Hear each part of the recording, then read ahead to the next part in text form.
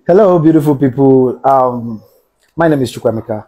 Well, the purpose of this video is to bring to your notice the effect of the Sudan war, the war that is being fought in Sudan. Don't feel relaxed right here in Nigeria or in the rest of African country, especially the West Africa. Don't feel relaxed because it's happening in uh, it's happening in uh, Sudan, far away Sudan, and to you, anything can happen. But let me tell you, every person, especially in Nigeria, will be affected by that war.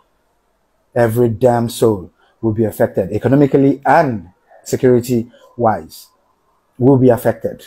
What are you hearing? You're hearing the Janjaweed. The Janjaweed was a militia group, just like the Boko Haram, just like the ISWAP.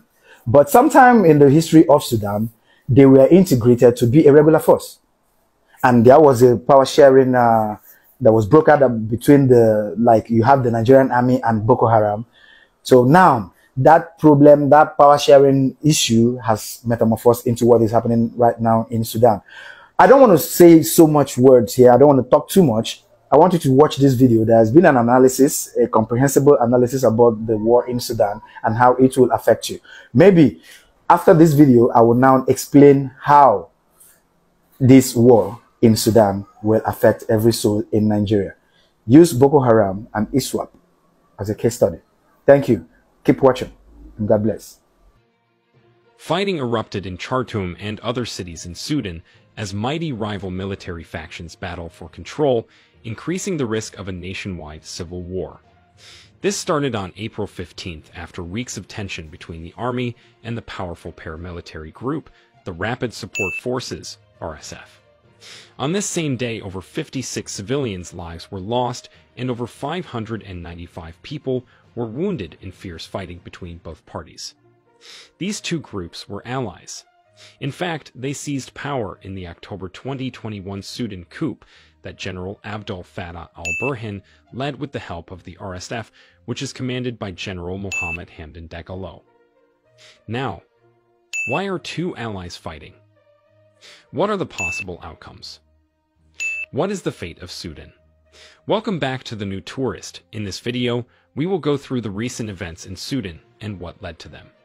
We will also show you some consequences that this power struggle and violence in Sudan will have on the Horn of Africa. The battles follow rising tensions over the proposed integration of the RSF into the military. The disagreement has delayed the signing of an internationally backed agreement with political parties on a transition to democracy. In recent months, these tensions were exacerbated by a deterioration in relations between General Abdel Fattah al-Burhan, commander of Sudan's military, and General Mohammed Hamdan Dagalo, head of the RSF.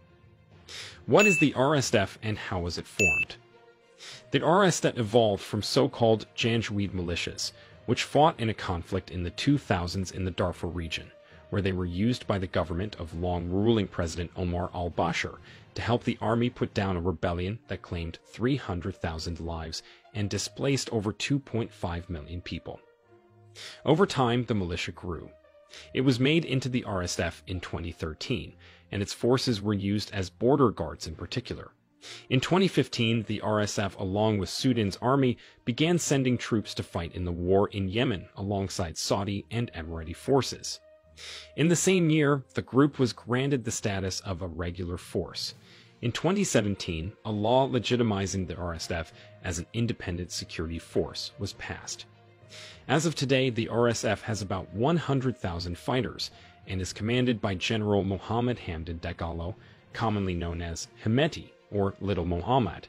He currently holds the position of deputy head of Sudan's ruling sovereign council. Dagalo was born into an impoverished family that settled in Darfur in the 1980s. He dropped out of school in the third grade and made a living trading camel before becoming a Janjaweed leader when the Darfur conflict broke out. As the RSF became more prominent and its role in the country's security affairs grew, Dagalo's business interests prospered with help from al-Bashir. His family expanded its holdings in gold mining, livestock, and infrastructure.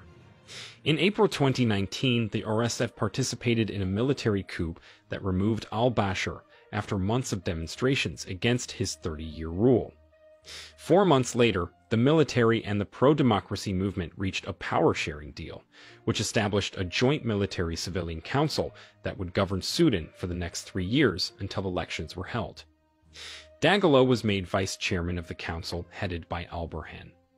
In October 2021, the RSF was involved in another coup with the army, halting the transition to a democratically elected government. The move triggered new mass pro-democracy rallies across Sudan that continue until today. Unlike Hemedti, al-Burhan is a career soldier from northern Sudan who rose through the ranks under the nearly 30-year rule of al-Bashir and took the top job as the de facto ruler of Sudan after the coup. Let us dive deeper into the tensions between the army and the RSF. What is the source of tensions between the army and the RSF? The army and pro-democracy groups have demanded the RSF's integration into the regular armed forces. However, the RSF has resisted integration into the army, understanding it would lose its power. Negotiations on integration have been a source of tension that has delayed a final signing of a new transition agreement, originally scheduled for April 1. Dagalo and al-Burhan reportedly remain at odds over who would be the commander-in-chief of the military during a multi-year integration period. The RSF said the commander should be the civilian head of state, a situation the army rejects. What is at stake in Sudan?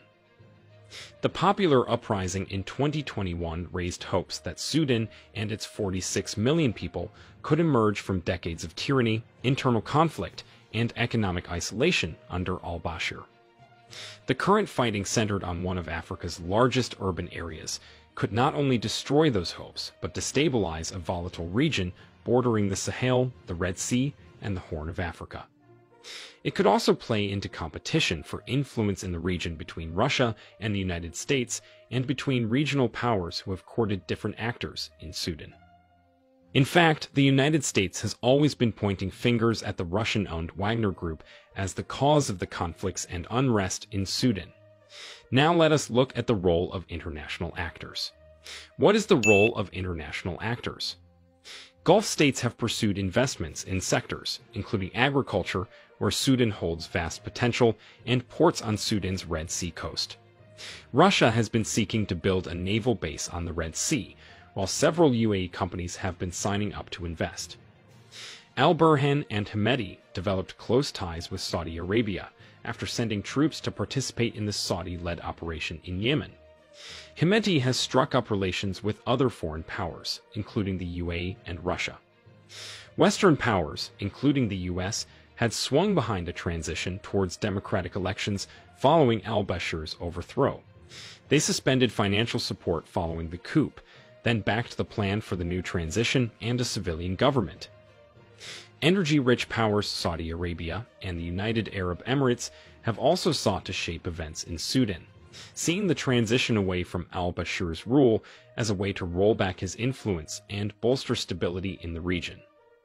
Egypt has deep ties to al-Burhan and the army and recently promoted a parallel track of political negotiations through parties with stronger links to the army and to al-Bashir's former government.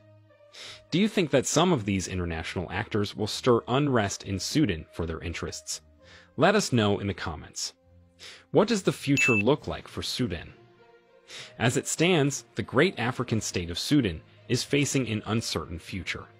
The two individuals who seem to have saved the people from the 30-year rule of a so-called tyrant are now at loggerheads.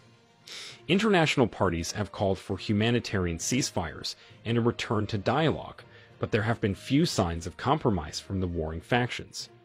Sudanese citizens, meanwhile, have flooded out of the capital area. The army has branded the RSF a rebel force and demanded its dissolution, while Hemedti has called al-Burhan a criminal and blamed him for visiting destruction on the country. The growing humanitarian crisis is leading to mass displacement within Sudan that could increasingly spill over borders. Already, tens of thousands have fled to neighboring states, including Egypt, Chad, and South Sudan. Of course, a full-blown civil war in Sudan could make things worse as the region is already grappling with ongoing conflicts in Ethiopia, South Sudan, and Somalia that have left tens of thousands of people dead and have displaced millions more, while climate change has also left its deadly mark, with repeated subpar rainy seasons exacerbating a humanitarian crisis. Sudan shares borders with seven countries. Five of those, Libya, the Central African Republic, South Sudan, Ethiopia, and Chad, are already theaters of ongoing armed conflict. Egypt and Eritrea are Sudan's other immediate neighbors. These countries will be heavily affected. However, South Sudan's President Salva Kiir, Kenya's William Ruto, and Djiboutian President Ismail Omar Guelleh would visit Khartoum at the earliest possible time to reconcile the conflicting groups. The African people are watching and waiting to see what the African Union will do to bring peace to Sudan. Africans must stop looking to Western powers to solve their problems and handle issues themselves.